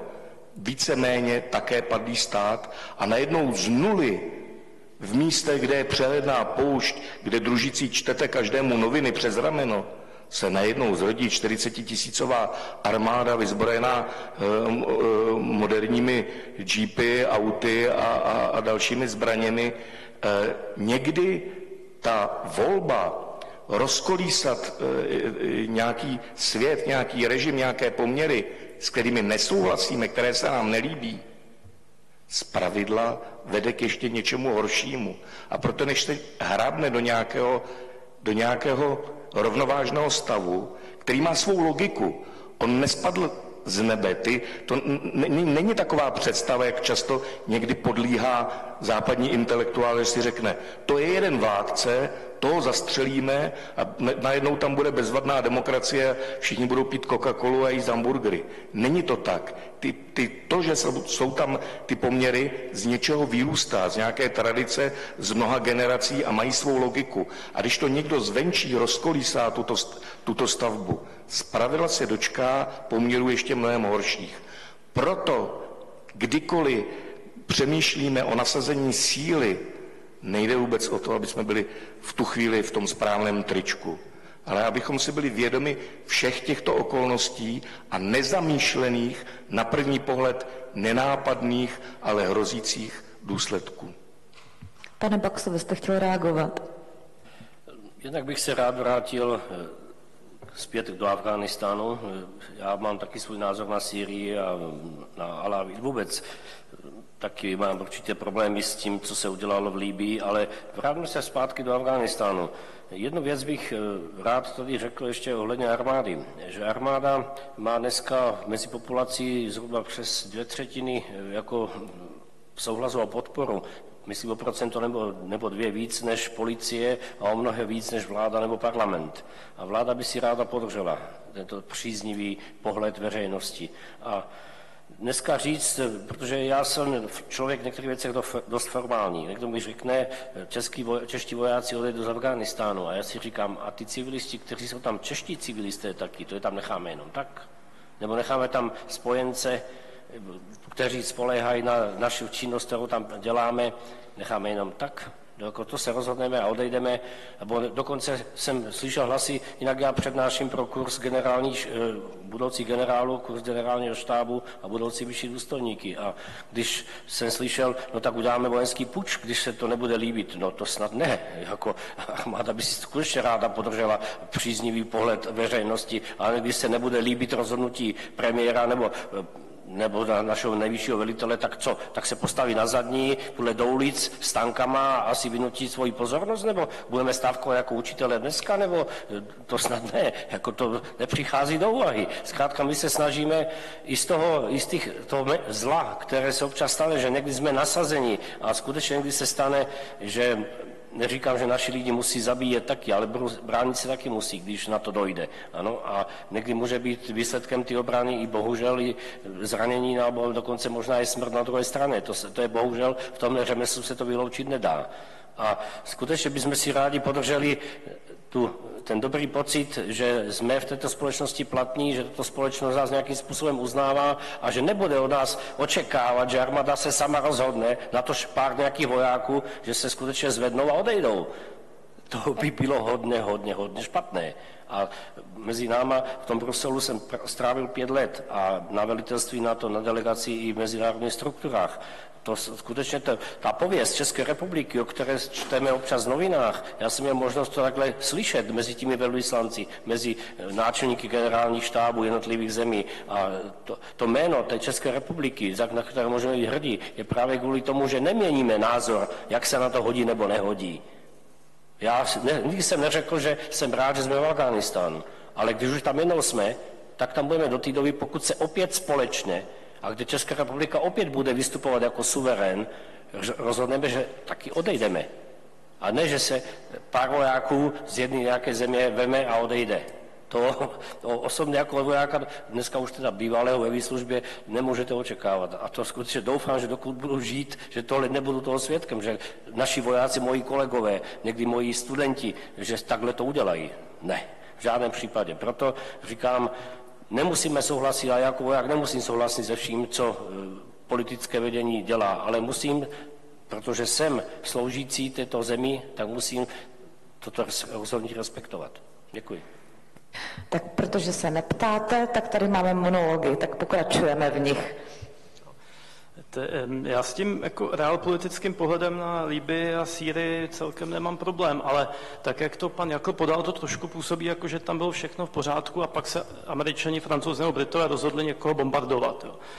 A e, takže jenom jako pořadí událostí, nějaká chronologie. Jo. Než Francouzi a Britové se, hlavně Francouzi se prosadili bombardování Libie a jistě se můžeme bavit, jestli to byl dobrý nápad nebo ne, tak už tam několik měsíců probíhala občanská válka, která vznikla jako lidovým povstáním z nějakých důvodů, eh, které tam, eh, jako nebyla to nějaká infiltrace, ale skutečně masové lidové povstání ve značné části Libie. Sýrie zase eh, měsíce trvající neozbrojené mírné demonstrace v rámci arabského jara. V okamžiku, kdy režim prezidenta Asada začal do těch lidí střílet, tak samozřejmě se věci chopily uh, ti ostřejší hoši. No. A samozřejmě na, ve všech těch uh, oblastech, o kterých se bavíme, ať je to Sýrie nebo nebo je to Libanon, tak se vždycky bohužel ukázalo, že ti islamisté jsou ti, kteří jsou nejvíc připraveni, jsou ochotně to hnutí převzít a v situaci, která eskaluje k násilí, tak jsou samozřejmě, mají náskok nad nějakou eh, běžnou veřejností. Jo. Ale to pořadí těch událostí je jako docela podstatné. Ty kořeny konfliktů jsou místní, jsou to jako místní problémy, které jako dlouhodobě neřešené místní problémy v těch zemích, ekonomické, sociální, etnické, do toho problém s zvyšováním cen potravin, jak bylo v celosvětovým globálním, jak bylo v době uh, arabského jara, uh, klimatickými problémy a tak dále, které prostě explodovaly uh, v nějaké situaci. A Západ pak už tomu následně, a tam se může bavit, jestli dobře nebo špatně, přispěl. Ale ty kořeny jsou místní a ta exploze byla vždycky místní. Tak děkuju. A jak říkal eh, pan Baxa, držme se spíš toho Afghánistánu. Už tady máme někoho, kdo by se chtěl na něco zeptat. Tak prosím, doputuje k vám mikrofon. Eh, Martin Winter, otázka spíše pro odpůrce teze, už jenom hlavně kvůli jejich přímým kontaktem s Afghánistánu. Myslíte si, když jste zmínil tu roztřištěnost afgánské společnosti, že v křídle, které je hodnotově bližší západní společnosti než třeba Taliban, existuje nějaká, osob, nějaká osobnost, nějaká elita, která by byla uh, schopná Eh, být respektována jak vlastně napříč celou tou společností, tedy hlavně tím Talibánem a těmi oblastními vládci, eh, bez toho, aniž by měla ty cizí uniformy v zádech, po případě, co by bylo potřeba ze strany spojenců k tomu udělat, aby taková elita vznikla? Já se obávám, že žádná taková osobnost neexistuje. Je v Afganistánu jako uh, Nikdo si příliš moc neváží někoho, kdo je z jiného etnika, kmene, rodiny a tak dále, jde to pak až na tu nejnižší úroveň. To je jako opravdu fragmentovaná společnost, je asi nejlepší termín, který tu společnost eh, vyjadřuje.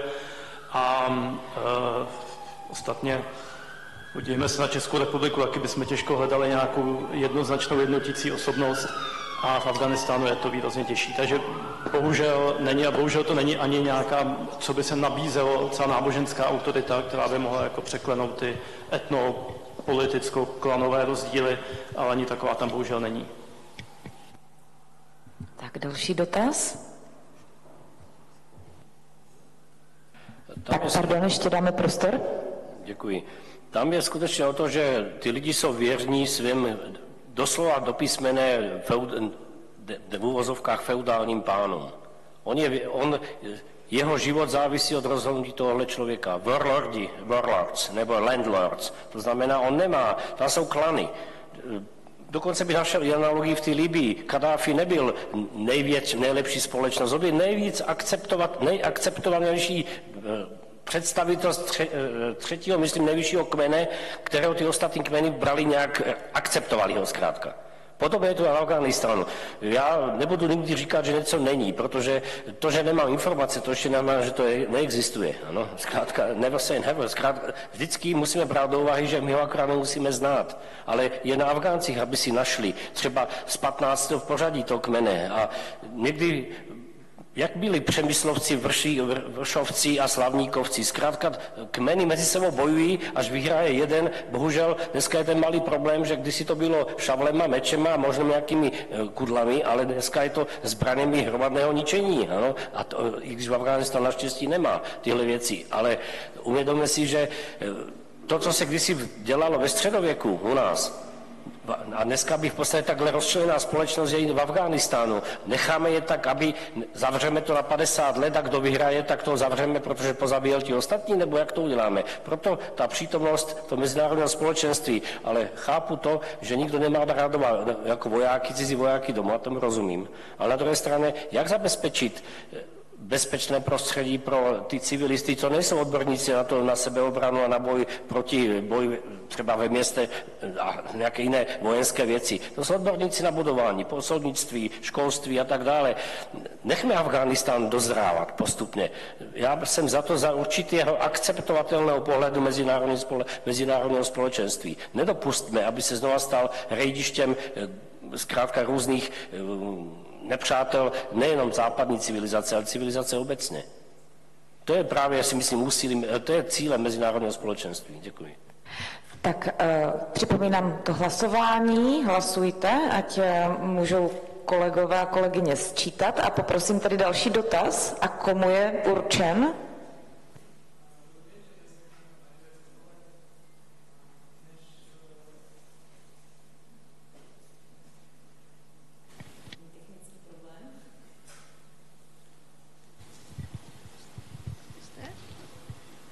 Фунгует?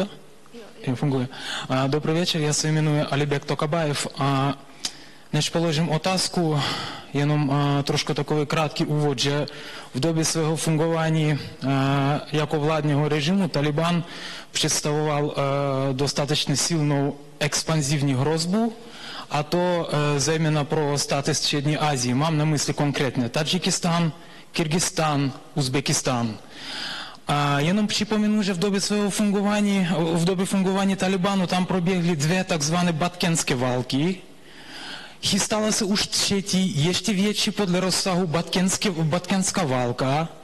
Díky bohu intervence uh, vojsk NATO v roce 2001 a тут, uh, této možnosti zabránili. Tak já mám otázku na stranu, která deklaruje od, uh, nutnost odchodu vojsk z Afganistánu. A otázka spočívá v tom, že pokud tam nastoupí režim Taliban zase, jak můžeme být jistí, že budeme mít schopnost vybudovat ochranný mechanism, mechanismus, který by zabránil šíření té vnější expanze toho Talibanu do, do jiných sousedních států, pro kterých už tento režim Taliban by nepředstavoval žádnou logickou no, tento režim by nepředstavoval už něco, co by zrodilo vnitř v těchto státech, ale spíš právě hrozbu zvnějšku. Děkuji. Tak pane Jakle, to je na vás. Já si rozhodně nepředstavuji, že naskáče 500 příslušníků Talibanu na džipy a přejedou hranice do Tadžikistánu nebo Turkmenistánu a, a budou tam šířit svoji víru nebo svoji moc, svoji sílu. Takhle to opravdu nefungovalo a nefunguje. Jinak připomínám, že invaze sovětská vznikla právě po vojenském převratu. V tom, v tom jste měl pravdu, kdy vláda do určité míry nábožensky neutrální byla, byla svržena muslimskými extremisty a to bylo vlastně jistou záminkou, tím, tím kauzem byli na, na vstup sovětských vojsk. K čemu to ale vedlo? Vedlo to k zásadnímu posílení mojahedínů a všech těch sil, které z toho vyrostly. Pokud hrozí těm středoazijským republikám nějaká reminiscence e, muslimských e, extremismů, tak hrozí zevnitř. Zevnitř, společensky, tak jako v mnoha jiných těch zemích na světě. Není nutno je někde vyvážet nějakými, nějakými zbraněmi a armádami. Navzdory tomu, že 48 nebo kolik procent obyvatel Afgánců jsou Uzbekové, ale oni ani sami to své národnostní cítění příliš rozvinuté nemají, je to spíš jazykové, jazyková příbuznost, jinak spíš co údolí, to, to pán, ale mě ještě inspirovala jedna, jedna úžasná, jedno úžasné slovo mého předřečníka tady, tady v panelu. Nedopustíme, aby se ta místa stala rejdištěm. Prosím vás, není možné nedopustit.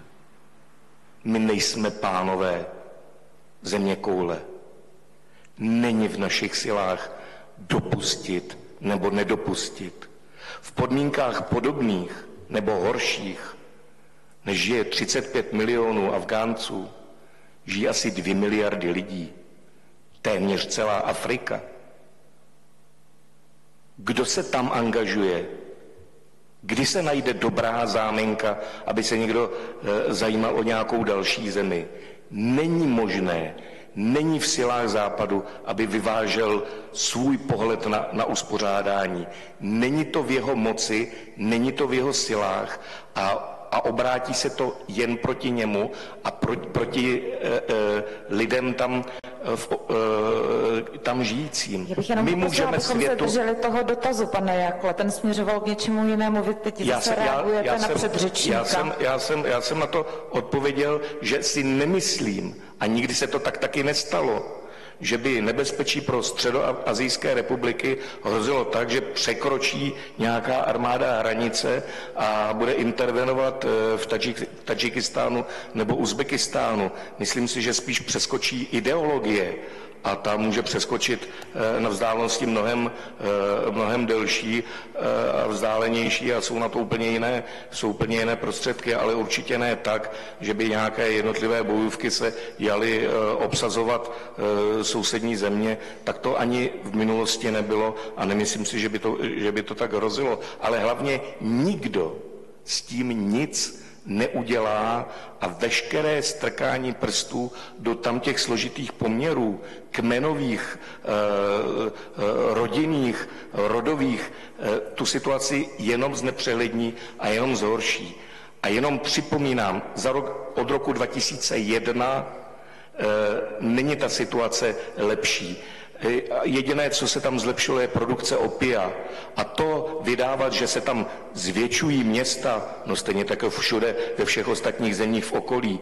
A nemyslíme si, že islámský extremismus je omezen jenom nějaké burany, kteří, kteří žijí někde na venkově, někde v nějakých pouštích. Je velmi vlastní těm nejbohatším eh, místům a, a, a těm velkým městům a konec konců eh, ta instalovaná vláda v Afganistánu nedrží pod kontrolu ani samotné hlavní město. Tak, já na vás nechci být zlá, ale musíme ty odpovědi zestručňovat trošku. Budete mít eh, prostor eh, v těch třech minutách. Pane Zrno, pokud eh, vaše reakce směřuje k tomu dotazu studenta, tak prosím ano, jinak si to schovte do, té, do toho schrnutí. No, jenže je skutečně pravda, že Taliban nezautočil na Uzbekistán, ale poskytoval například zázemí islámskému hnutí Uzbekistánu, což je nejsilnější Eh, ozbrojená islamistická frakce ve Střední Asii, který pronikla do Uzbekistánu. A pak mi to ještě nedá, eh, ta invaze Sovětského svazu do Afganistánu nebyla po islamistickém převratu a naopak po komunistickém převratu proti sekulární vládě, kdy Sovětský svaz chtěl ochránit tuto komunistickou vládu. Tak děkuju. Nějaký další dotaz? Poprosím mikrofon tím směrem. Dobrý den, Ondřej Hrudek. Eh, já bych tu otázku možná malinko otočil, abych se vás chtěl možná všech eh, postupně zeptat na to, jestli vy vidíte nějakou, tady nějaký legitimní důvod, proč by vůbec česká armáda na základě eh, rozhodnutí parlamentu se vůbec měla účastnit nějaké zahraniční mise mimo, teď pominu článek 5 Severoatlantické smlouvy, ale myslím v těchto zemích, ve kterých jsme nyní, Afghánistán, Irák, Sinaj, eh, Mali. Existuje podle vás nějaký závažný důvod, proč tam vlastně být, proč se po každé s těmi spojenci shodnout a svou armádu tam vyslat? Tak ten dotaz byl na všechny pánové, ale já vás poprosím fakt stručně, třeba dvěma větama, kdybyste to zvládli vystihnout. Tak jestli můžu. Já e, myslím si, že taková naše angažovanost by měla být vázána na mandát OSN, zásadně, bez něj nikdy. A za druhé, je dobře, že jste zmínil tady jako první článek 5 Severoatlantické smlouvy. Napaden byl zatím jenom jeden stát. Severoatlantické aliance. Víte který? A šli jsme mu na pomoc? Je to Turecko. Je to Turecko, který byl, které bylo napadeno z vnějšku e, trockistickými a maoistickými kurdskými milicemi. Kde bylo na to a kde je chrání turecké hranice, má svůj jiný výklad e, těch dějů. E, takže někdy, co je psáno, není vůbec dáno. ale hlavně, než bychom se my rozhodli pro takovou účast, tam to byly podmínky, ale ty jsou nikoli dostačující, by bylo zvážení našich vlastních souladu s našimi vlastními zájmy. Tak, pan Baxa? Děkuji za slovo. Tam jde o to, že eh, artikel 5, článek 5 byl evokován, eh, vyhlášen pouze jednou, a to po 11. září. V životě ještě aliance existenci aliance nikdy jindy nebyl evokován článek 5. Takže i turecká eh, řekněme, problémy turecko-syrské hranice nebyly hodnoceni jako článek 5. Druhá věc je, že my, Česká jednotka, Česká republika, jsme tam měli svou jednotku. Máme určité, určité malé prvky v síle 50 lidí, které eh, podléhají přímo velení aliance a ze eh, souhlasem vlády, samozřejmě parlamentu a ta jednotka tam nasazena byla, když v novinách se o tom moc nepsalo. Ale třetí věc je, že skutečně neexistuje, neexistuje žádná, žádný nástroj, který by Českou republiku eh, nutil, že musí vždycky souhlasit s tím. Jak jsem vzpomínal, jsou dvě možnosti. Buď bude souhlasit s tím, že ta operace proběhne i bez české účasti, nebo souhlasit, že proběhne a zároveň se to zúčastní. Ten tlak eh, zase to jako schizofrenie. Když souhlasíte s tou operací, nechcete tam vůbec nikoho dát, tak souhlasíte nebo nesouhlasíte? Tak eh, jinak my teda jsme eh, v Afganistánu na základě OSN, rozhodnutí mandátu Rady bezpečnosti OSN a po dohodě s místní vládou, to je na okraj. Ale samozřejmě jsou to všechno věci, kam mít můžeme a nemusíme, ale politická reprezentace a dle mého názoru správně um, chápe, že to je i v zájmu bezpečnosti České republiky ukázat lojalitu vůči našim spojencům, především vůči Spojeným státům, kteří jsou pro nás uh, prostě v rámci NATO klíčoví. A proto to děláme. Tak děkuji. Další dotaz, eh, řekněme poslední. Pán Jaklák, môžem otázku na vás? Vy ste predtým teda vravali o intervenciách v Sýrii, v Líbii, ale čo sa týka Afganistanu, ten už v nejakom štádiu svojho, nazvime to, rozbitia a rozkladu je niekoľko desaťročí. A keď hovoríte, aby sa česká misia odtiaľ stiahla, ako si predstavujete tú situáciu, že čo by tam potom bolo a aký by bol ďalší vývoj? Po prípade, keby tam ostali všetky iné posádky, by sa teda Česko stiahlo, čo čakáte, že aký by to malo vplyv na situáciu v Afganistane samotnom? Ďakujem. Trošku jsem už o tom mluvil. Naše politická reprezentace by na všech příslušných jednáních, kde se rozhoduje o dalším angažmá vojsk v NATO podle mého přesvědčení, podle mého věcného politického názoru měla zasazovat o to, aby se eh, o tamtud odešlo.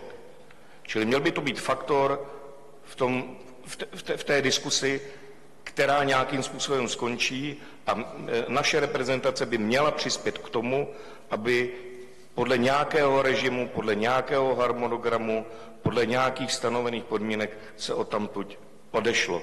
Neměli bychom v této věci být ani pasivní a čekat, co až rozhodnou jenom ti největší, a neměli bychom být už vůbec ti největší horlivci, kteří budou bojovat, když už ostatní dávno vědí, že je třeba to, se, se třeba rozhodnout jinak. Těch režimů pro, pro ústup je mnoho a také v historii mnoho paralel včetně evakuace eh, z velvyslanectví eh, v Saigonu ve Větnamu eh, helikoptérami ze střechy. To asi není správný, správný scénář. Správný scénář je nějaký, nějaký organizovaný, nějaký promyšlený, s vědomím, co no, tam po nás zůstává. Ale měli bychom být politickým faktorem směřujícím k ukončení stavu, který ani za 18 let eh, k ničemu dobrému nevedl a jenom stál strašně moc lidských životů.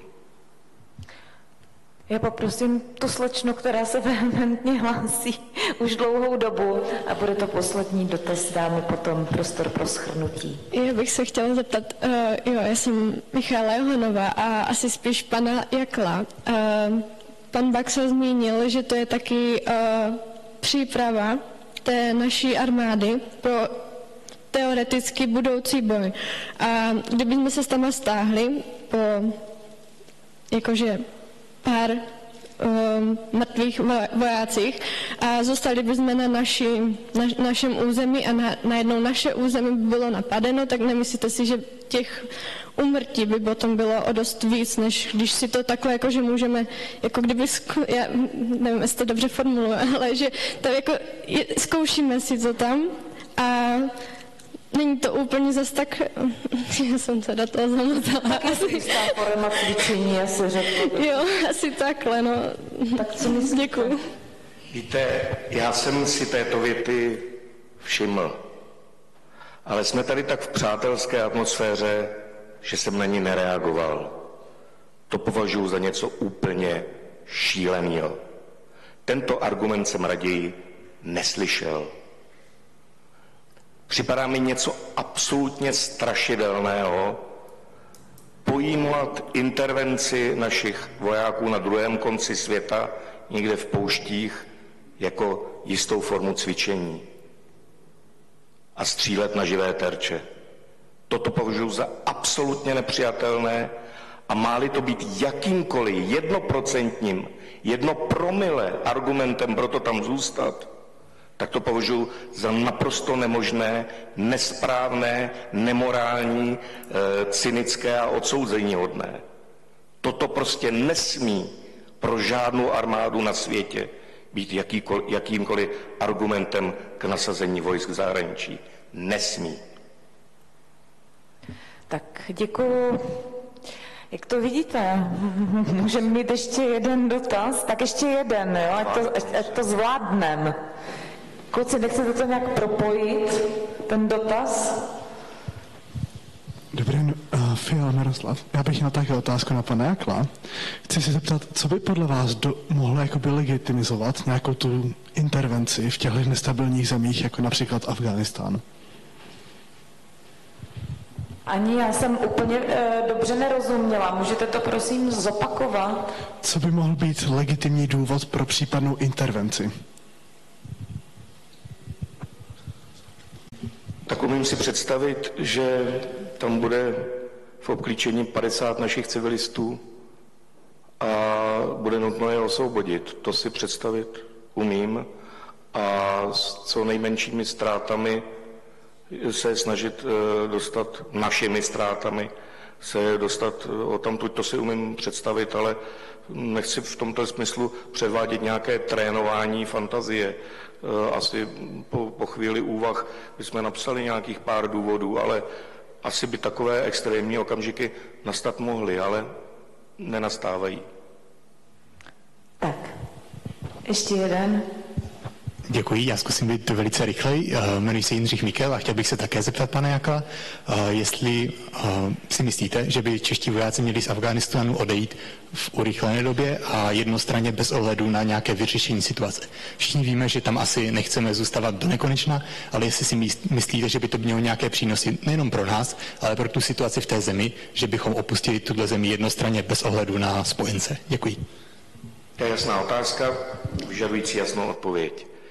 Myslím si, že politickým rozhodnutím by se měl určit na naší straně nějaký deadline, do tohoto data se snažit politicky působit na koordinovaný odchod v rámci spojeneckých sil. Pokud by tento čas vypršel bez jakéhokoliv e, vývoje, bez nějakého světla na konci tunelu, tak odejít jednostranně. Ano.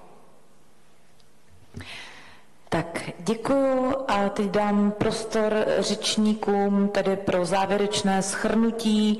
E, máte na něho tři minuty, začne e, strana proti tezi a pan Zrno, protože končil v úvodu, tak ať to obrátíme. A, tak e, myslím si, že přes strašnou dobu, kterou jsme si asi nikdo začátku nepředstavovali, že to bude trvat. A ty uh, lidské ztráty i ty náklady, takže je, uh, že v našem zájmu jsou dvě věci. Jedna je uh, stabilita i v tak zdánlivě vzdálené oblasti, jako je Afganistán. Je to dokonce jedna z mála věcí, ve které se shodnu s Milošem Zemanem, když říká, že stabilní Afganistán mimo jiné i zmenšuje migrační tlak na Evropu, protože Afgánci jsou jedním z těch nejpočetnějších skupin, která k nám přichází přes Turecko. A jednak jako výraz naší alianční spolupráce, on to zní jako taková fráze, už jsem si jako všimnul, ale je to prostě pragmatický pohled na to, že pokud chceme, aby někdo bránil někde nás, a já znovu zopakuju, že to jako nemáme garantováno, ale musíme se o to aspoň pokusit, eh, protože my se zkrátka nějakému většímu nebezpečí sami neubráníme. Taková je realita. My nebudeme mít armádu o čtvrt milionu mužů a třech tisících tanků, aby jsme byli schopni bránit, bránit naše hranice. My prostě musíme fungovat v aliančním celku, a e, v aliančním celku můžeme fungovat tak, že i sami nabídneme e, jako svoji trochu do mlína, ať je to někde v Pobaltí nebo ať je to v Afganistánu. A když mluvím o alianci, tak tam jsou klíčové Spojené státy a pokud díky tomu, že za A dáváme něco na uh, vojenské výdaje a za B jsme ochotni podporovat Američany v terénu, dojde k tomu, že izolacionalistické tendence, které v Americe vždycky byly, jsou a vždycky budou, takže nepřeváží a že američané zůstanou v Evropě, což je naším naprosto životním zájmem, tak si myslím, že to za to stojí. Děkuju. Teď tady prostor strana pro tezi, pan Jakl. Myslel jsem si, že se tomu slovu vyhneme. Je to téma na samostatnou velkou debatu. Migrace. Migrace do Evropy v žádném případě vůbec nijak nesouvisí se situací někde na druhém konci světa. Jediným určujícím faktorem míry migrace je, zda se tady uvnitř šengenského prostoru otevřou nebo zavřou dveře. Protože jinak byste byl sám proti sobě a řekl, by si, řekl byste si, tak čím to, že migrace z Afganistanu stoupá, když tam už 18 let děláme pořádek a předtím nebyla skoro žádná. To s tím vůbec nesouvisí. Souvisí to s naším evropským rozhodnutím vydat pozvánku. Vůbec ne s tou situací. Ale to závěrečné slovo, které jsem si šetřil, já jsem vážně rád, že tady se ta debata nějaká takováhle uskutečnila. A jsem velmi šťastný z toho, že vůbec je možné na toto téma seriózně, vážně e, debatovat bez e, plašení se a, a skákání do vzduchu, jak si vůbec může někdo dovolit spochybňovat takovéto posvátné krávy. Jsou to vážné věci a vážně o nich debatujte. A když už mám teď slovo, tak e, ten blok, z kterého bylo na začátku citováno, je umístěn tady v této knížce. Mám tady čtyři kusy pro nejrychlejší čtyři z vás. Tak děkuji, to bylo závěrečné slovo i s propagací knihy. Tak teď ještě poprosím o schrnutí pana Baxu. Děkuji. Nejdřív budu asi trošku reaktivní, ale jsem rád, že pan Jakl nespomněl v rámci přátelských vztahů to, že nereagoval na tu připomínku. Víte, já jsem říkal, že to vždycky menší a větší zlo. A když už někde voják musí být nasazen, proč by si z toho nevzal lekci? A se skutečně velice silně ohrazují proti tomu, že čeští vojáci šli do Afganistánu, aby stříleli na živé terče. Tak to teda v žádném případě ne. Ale lekci si z toho můžou vzít. Ano. Je to skutečně to dobrá příprava. Kdo neprošel ostrou misí, těžko bude vědět, jak se zachová při konkrétní při bojové situaci. A mluvím sám i za sebe, z vlastní zkušeností ale aby jsme byli eh, proti, eh, aby jsme nebyli jenom, abych nebyl jenom proaktivní, eh, proti, reaktivní.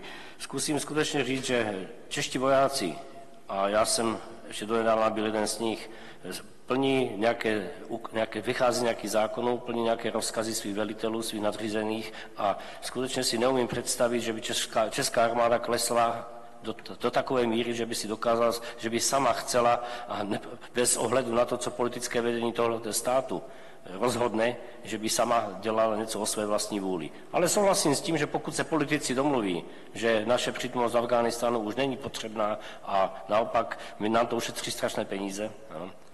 A skutečně to, ta lekce, ta, kterou nám afganizace, takzvaná afganizace ozbrojených sil dává, někdo říká, že ozbrojené síly se připravují pouze na boj nízké intenzity nebo operace nízké intenzity. Ono otázka je, kde pak trénovat operace vysoké intenzity. Ano, to rozpoutáme jako Švejk, říká malý pohraniční konflikt, aby se ukázalo, jak je armáda potřebná. No to asi ne. Takže vycházíme z toho, existuje, i když je to zlo, my se z toho zla snažíme vytřískat aspoň něco, nějaký profit, jak pro armádu, tak i pro tu společnost. Děkuji. Tak děkuji eh, všem třem řečníkům eh, za schrnutí. Máme tu výsledky, eh, podtrženo sečteno. Jenom připomínám, že vyhrává ten, kdo má největší procentuální rozdíl a tuto dnešní debatu tedy vyhrála strana proti tezi, která získala v průběhu té debaty 11 a když to strana pro, i když pan Jako byl za dva lidi, i když je tu sám, ztratila 7%. Připomenu, jak to bylo před debatou. Pro tezi 19%, nevědělo taky 19% z vás a proti tezi 62%. A po té debatě se to eh, přelilo tedy ještě o 11% výš, proti tezi 73% z vás pro 11% a neví 16% takže i tato skupina se trošku uh, snížila svůj počet. Tak Děkuji vám všem, že jste přišli si poslechnout tuto debatu.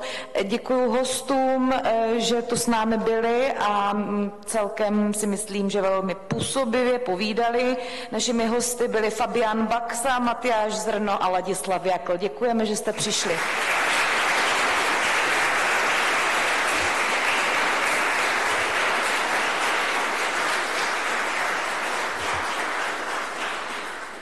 Děkujeme i vám, hezký večer a těšíme se na další Masarykovu debatu.